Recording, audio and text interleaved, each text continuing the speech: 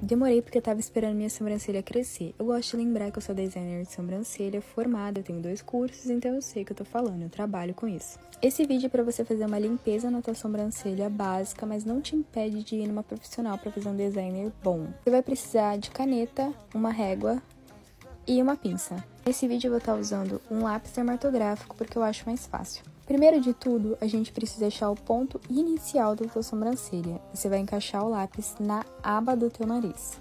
Mas se teu nariz for um pouco larguinho igual o meu, você vai precisar encaixar no começo da aba, porque no final da aba você vai cortar muito o começo da tua sobrancelha. Então vai depender do teu nariz. Se teu nariz for um pouco mais fininho, você pode colocar no final da aba, mais gordinho você coloca no começo. Para fazer com a régua é a mesma coisa, é só encaixar e marcar com o lápis. Você vai fazer isso dos dois lados, encaixa o lápis na abinha do nariz e marca.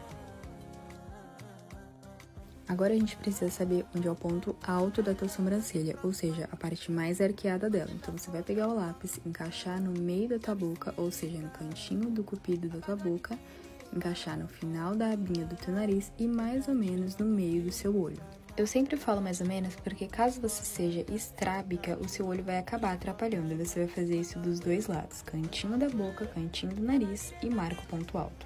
Agora a gente vai descobrir o ponto final da tua sobrancelha, ou seja, onde ela termina. Então você vai encaixar o lápis no finalzinho do teu olho, onde ele termina, e no cantinho da boca de novo. Encaixa o lápis nesses dois pontos e marca lá em cima. Você vai fazer isso dos dois lados. Cantinho da boca, cantinho do olho e marca lá no final.